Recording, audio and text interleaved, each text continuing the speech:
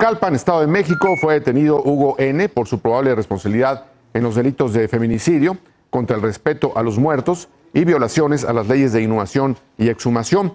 Autoridades detallaron que el sujeto fue detenido al trasladar una bolsa con los restos de una mujer quien aún no ha sido identificada. Esto en la calle Constitución, Colonia San José de los Leones. El hombre confesó que dejó partes del cuerpo en una coladera y pretendía hacer lo mismo con lo demás que llevaba en la bolsa.